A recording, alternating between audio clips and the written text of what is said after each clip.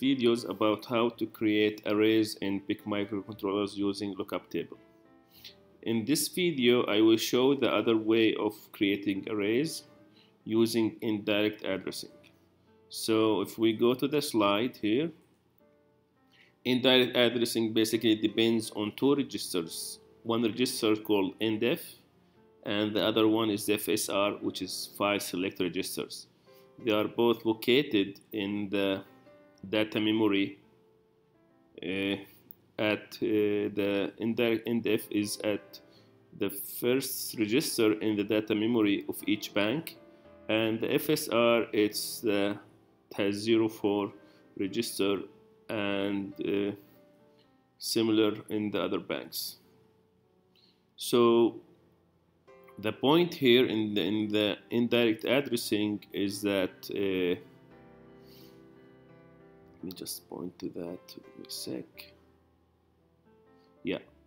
Is that the FSR it it points to a certain address in the data memory while the INDF register contains the value of the address where the FSR is pointing.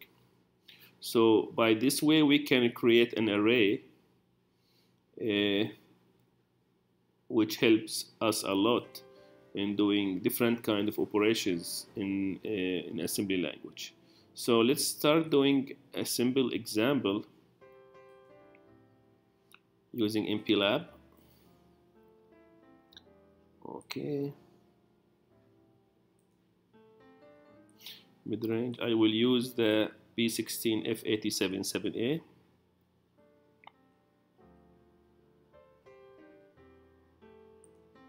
Next, simulator.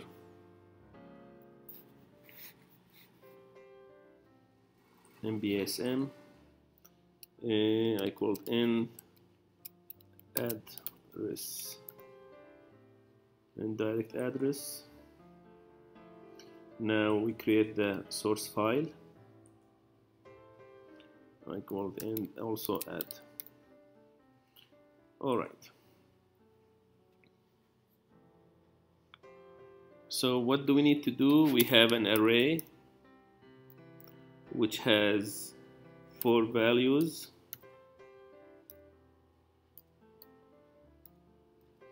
Equal sorry what's going on? Equal 3 6 8 3 6 8 and let's say 11 so we need to display uh, these values. Display them. The values in for using port P.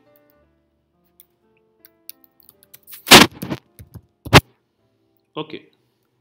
Port B what's port B. All right. So the first thing we need to do include the include the file. P16f877a.inc then we need to create let me just put org00 and end. Now before we uh, start doing the indirect addressing we need to create a CBLOCK at 70 where we can store the values of the array. So we can have x y z and uh, k. Okay so these values we can these variables we will define the values of the array in these variables so what do we need to do here now is to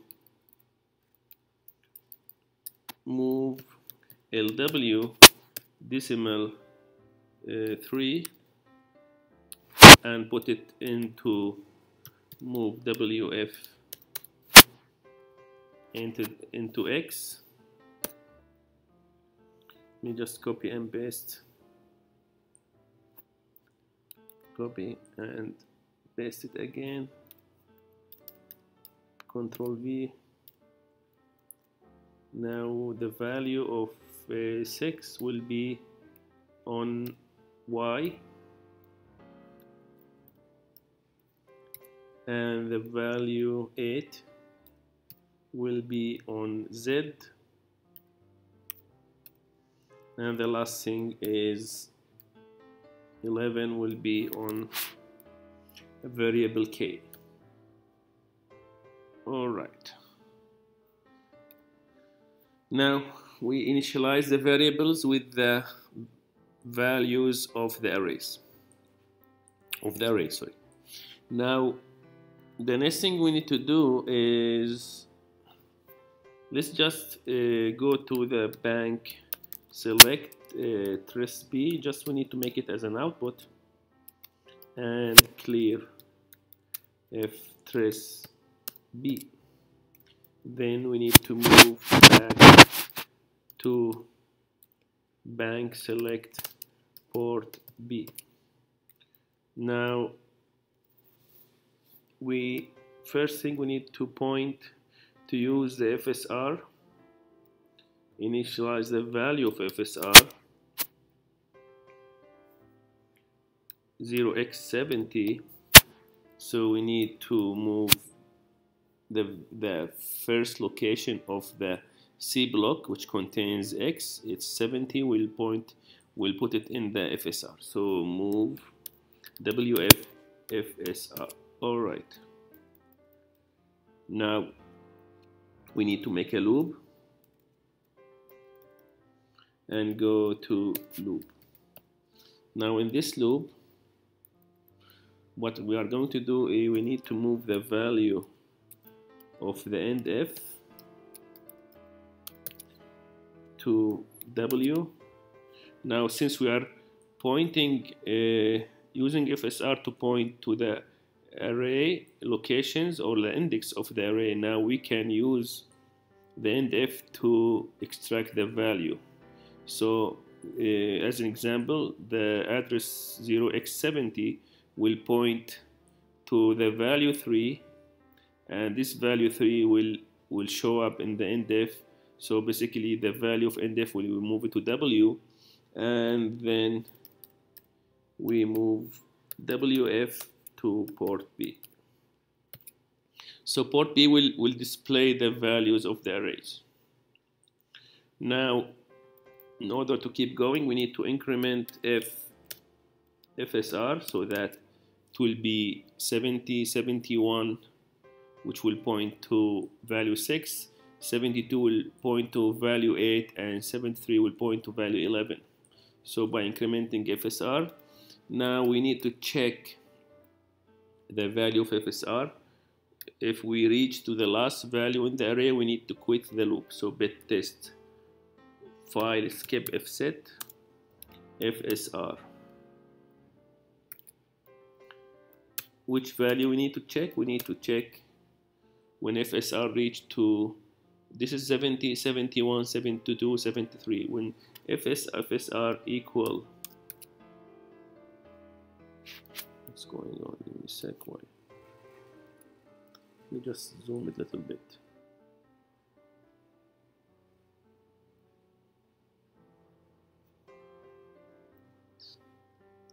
Let me just reset let me just save that control save.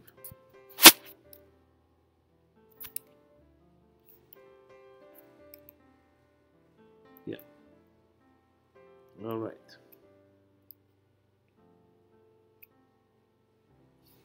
when FSR equals to 73 0x73 eh, this is the last value. So when we reach to 74 we, will, we need to quit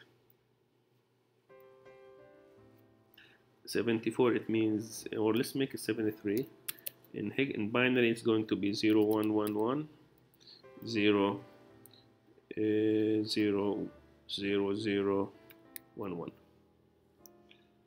so this is 7 and this is 3 so when this change into to 74 that which means when bit number 2 change to 1 we need to quit alright so this is how it works. Let's give it a try and but before I need I need to go to the file register to see the variables at 70 make it symbols. Now we need to go to the 7 to make sure that we have the values with the defined values so we have this is right now 0 now if we build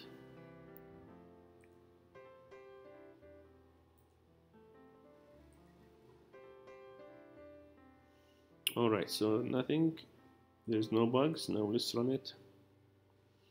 And let me just reset pause and reset. Okay so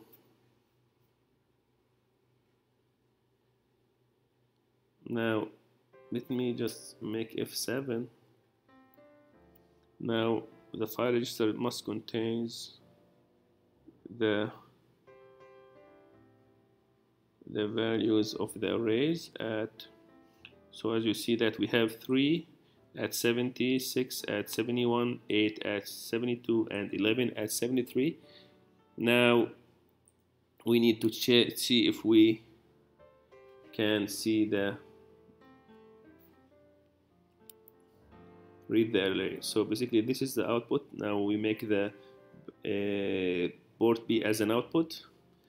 Then we move to port B to bank 0 sorry. Now we move we define FSR with 70 if you see FSR now it's 70 now if you notice that now W register has value of 3 which is the first value and the port B now will be 3 so this is the first value. Then check the loop. So the next value of FSR is 71 now the value is 6 for the register which moves to the port B. The last third value is at address 72 where it's 8 and we move it to port B and the last value is 11 where we move it to port B then we quit the loop. So this is how the indirect addressing working. Uh, basically we have as you see that example we have an array of four variables.